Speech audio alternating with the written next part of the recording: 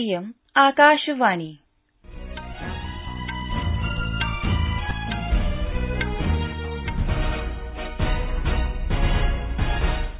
सम्प्रति वार्ता श्रूयन्ताम् प्रवाचिका निधि तिवारी आदौ मुख्यवार्ताः श्रीमोदी कथितवान् यत् भारतं विनिर्माण क्षेत्रेष् नैरन्तर्येण प्रगतिपथे गच्छति यतो जंगम दूरवाण्या निर्यात सप्तमासेष् पञ्च बिलियन डॉलर मितात्मिकां संख्याम् अधिगतवान्।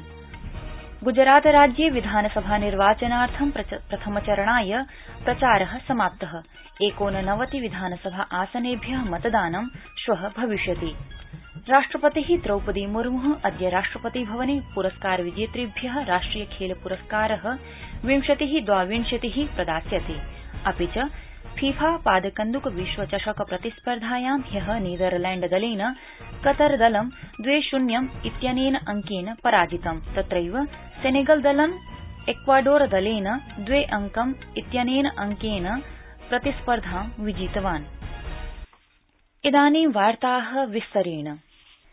प्रधानमन्त्री नरेन्द्रमोदी अस्मिन् वित्तीय वर्षे अक्टूबर मासं यावत् प्रतिवर्ष जंगमदूरवाण्या द्विगुणिते निर्याते प्रसन्नताम् अभिव्यक्तीकृतवान्। जंगम दूरवाण्या निर्यात सप्तमासेष् पञ्च बिलियन डॉलर मितात्मिकां संख्याम् अधिगतवान्। एतस्मिन् सन्दर्भे सूचना प्रौद्योगिकी मन्त्री राजीव चन्द्रशेखरस्य ट्वीट सन्देशस्य प्रत्युत्तरं प्रददन् श्रीमोदी कथितवान् यत् भारतं विनिर्माण क्षेत्रेष् नैरन्तर्येण प्रगतिपथे गच्छति। गुजरात राज्ये विधानसभा निर्वाचनार्थं प्रथमचरणाय प्रचार समाप्त।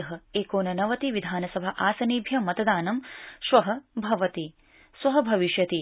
गुजरात राज्ये एकोननवति आपदेभ्य निर्वाचनं भवति। सौराष्ट्र, कच्छ, दक्षिण क्षेत्रेष् प्रथमचरणाय मतदानं श्व भविष्यति। अस्मिन् चरणे एकोनचत्वारिंशत् लक्षाधिक द्विकोट्यधिक जना, अष्टाशीत्यधिक सप्तशतमितानां प्रत्याशिनां भाग्यनिर्णयं करिष्यन्ति। राष्ट्रपति द्रौपदी मुर्मु अद्य सायंकाले राष्ट्रपति भवने एकस्मिन् समारोहे पुरस्कार विजेतृभ्य, राष्ट्रिय खेल पुरस्कार, विंशति द्वाविंशति अथ राष्ट्रिय साहसिक पुरस्कार विंशति एकविंशति प्रदास्यति। अस्मिन् वर्षे क्रीडाक्षेत्रे उत्कृष्ट प्रदर्शनाय अर्जुन पुरस्कार पञ्चविंशति क्रीडकेभ्य प्रदास्यते। एतेष् धाविका सीमा पुनिया, एल्डोहोज पॉल च मुष्टामुष्टि क्रीडिका निकहत जरीन, हॉकी क्रीडक दीप ग्रेस एक्का, भरोत्तोलक विकास ठाकुर इत्यादय क्रीडका सम्मिलिता सन्ति। लाइफ टाइम अचीवमेंट ध्यानचन्द पुरस्काराय अश्विनी अकोंजीसी धर्मवीर सिंह बीसी सुरेश, नीरबहादुर गुरंग च चयनिता वर्तन्ते। पञ्च प्रशिक्षकेष् त्रय प्रशिक्षका आजीवन श्रेण्या अन्तर्गतं शेषद्वयं नियमित श्रेण्या अन्तर्गतं द्रोणाचार्य पुरस्काराय चयनिता सन्ति। एतदतिरिच्य मौलाना अबुल कलाम आज़ाद चषकचिह्नं विंशति, द्वाविंशति अमृतसरस्य गुरूनानक देव विश्वविद्यालय समर्पयिष्यति। प्रधानमन्त्रिणा श्रीमता नरेन्द्रमोदिना अस्य मासस्य मन की बात कार्यक्रमस्य समये सामुदायिक प्रयासान् अवलम्ब्य कार्यक्रमे समाविष्ट विषयम् अधिकृत्य च मन की बात प्रश्नोत्तरी प्रतियोगितायां भागग्रहणाय जना आमन्त्रिता।